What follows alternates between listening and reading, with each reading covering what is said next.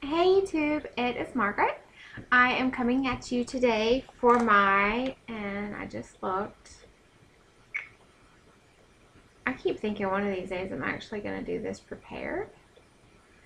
Week 13 update from VSG surgery, which I had on September 3rd, 2014 in Birmingham, Alabama with Dr. Lee Schmidt.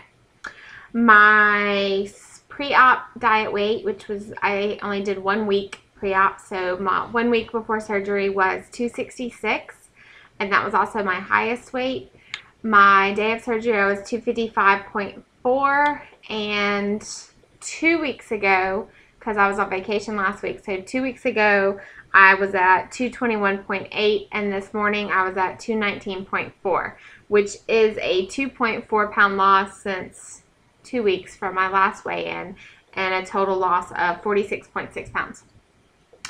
Um, and my like internal little mental goal, I really wanted to be at 50 pounds um, this week, but I had was on vacation for 10 days in which I um, other than just the restriction of not being able to eat much, I, that was really the only thing um, that I did. So the whole time I was on vacation, I pretty much pretty much ate whatever I wanted. Now, I tried to eat protein first, but like we were at theme parks majority of the time. So like at lunch, my options were like pizza or cheeseburger and um, we were on meal plans. So um, it wasn't like I was wasting. I mean, it was the food was already paid for. So, like, I would get like the cheeseburger plate with fries, and I would eat. I would take the bun off and eat like three bites of the patty and like two French fries, and I would be full. Um, so I didn't eat healthy, but in the whole scheme of things, I really couldn't eat enough to probably amount to anything. Um, and then at night, like everybody wanted to do like dessert. Oh, and every every meal always came with dessert too, which I never, I never ate. Like I was so full by the time dessert came around that I couldn't eat it, even if I wanted it. So, and every night, um, everybody wanted dessert, and I usually was full and um, couldn't do it. There was a couple nights that we had alcohol um, we went to a Mexican restaurant one night and I had a margarita. Although I'm trying to think. I don't think I finished it all. I think my husband helped me finish it. Um, one night we went to Fat Tuesdays and got a drink. Um, and that was really the only night. I think that might have been the first time that I had alcohol on vacation. And um, I, I got pretty drunk off of it. But it didn't last long. And I couldn't drink the whole thing. Um, so it didn't make me sick. Although, you know what, I did have a headache the next morning. Um, and I chalked it up to being uncomfortable sleeping, but it could have very well been alcohol. Um, we walked a ton, um, a ton, a ton, like anywhere from six to eight miles a day. Um, what else? I mean, I really just enjoyed the vacation. I, I tried really not to think about it.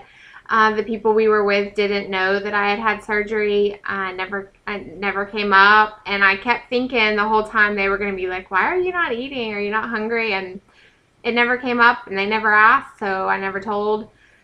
But so I mean, it worked out. I mean, I didn't have to order any special foods. I didn't. Um, I mean, I, you know, I enjoyed vacation. I fit in every ride I got on. I didn't have to worry about if I was gonna fit. Um, I was pretty confident that I that I would, and I did. Um, so I didn't have to worry about that. And you know, it just uh, I was surprised that I was able to walk as much as we did and I was not tired because one of the things that has been holding me back from going to the gym is that I feel like at only getting 800 to 1000 calories a day that I am not taking in enough calories to go burn a bunch of calories working out. Um, I've kind of used that as an internal excuse and not a very good one and probably shouldn't be. So I was glad to see that I was able to do all the walking and um, didn't bother me at all. Um, so I just need to get my butt to the gym. And my work, um, actually this Friday, they are, I think they're signing up the whole office for a gym membership. So I really will have no excuse then. um, so that is my next goal is to get on to that. Next Monday is my three month appointment with my doctor. So next week I'll have an update on how that went and what all they checked and what he said. Um, I have a feeling that I'm probably, in my mind, I'm behind on weight loss from what I feel like I should have. Just, again, I'm basing on other people's numbers.